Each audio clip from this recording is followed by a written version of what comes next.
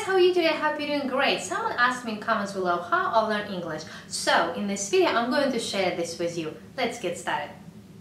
It all started probably when I was 15 years old. American missionaries would actively come to my mother's orphanage, usually for summer or Christmas. And I was always very fascinated with the language. I thought that it was the coolest thing ever to be able to speak English. And so when I was 17, I was inspired by Russian translators to start learning English. I was always told that it was very expensive and I've decided to figure this out for myself. So I went to uh, a Makeyevka Logo School. It was English school and I found out how much it was. At that point I was given a scholarship in college where I went and in my country scholarship means like allowance.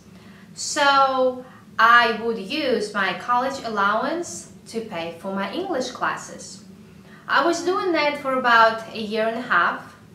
Uh, then I started working as a translator for American missionaries.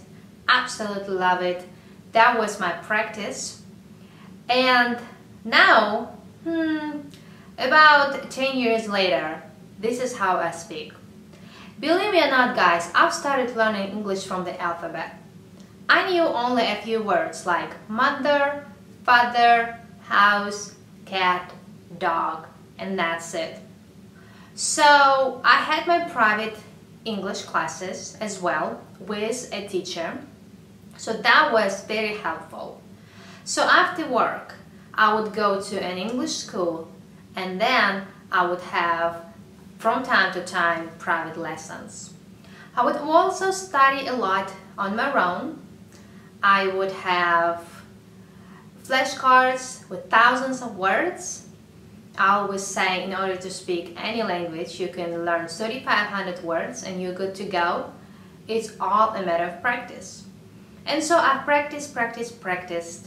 Absolutely love English. And maybe that's why I have a YouTube channel, because I love speaking in English.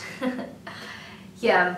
So this is my story, how I have learned English. I'm still learning. I don't know so many words. I mean, I open a book and I just go to dictionary every sentence, seems like it.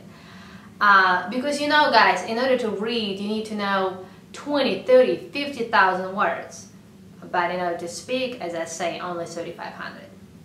So yeah, this is my story. Please let me know how is your English going? How have you learned it? I know that it takes a lifetime to learn a language, so we are here together. Thank you so much for watching. Please subscribe to my channel, and I'll talk to you guys later. Bye!